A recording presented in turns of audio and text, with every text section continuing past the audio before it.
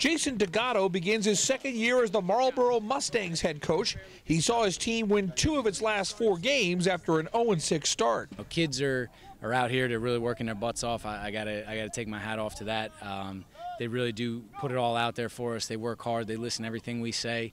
Um, and they really do want to be a good football team. It's the best feeling ever. You know, we're enthusiastic. You know, we got leadership. We got Coach Dagato.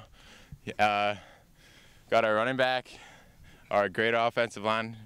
The Mustangs will employ a two-back base in their offense, and running back Mo Omar will try and be the guy that can improve Marlboro's overall offensive output. Uh, this year we're running out the pistol, and pretty much going to kind of be running the ball and sometimes passing the ball, but uh, I look forward to making plays and having everybody else get involved. Six foot three, 225 pound lineman Jared Moffet brings quickness and size to the Mustangs line.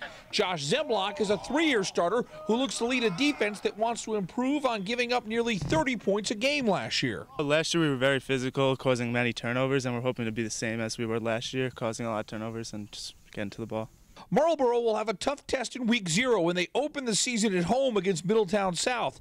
Dagato praised his kids for constantly working hard, from the winter weight room to summer training camp. He wants that hard work to pay off with more wins this fall. For those kids to really come out and have some success this year would mean a lot to me, would mean a lot to them, would mean a lot to the coaches, would mean a lot to the school, would mean a lot to the town. You know, I, I, I really want to see this hard work pay off, and I really think it will.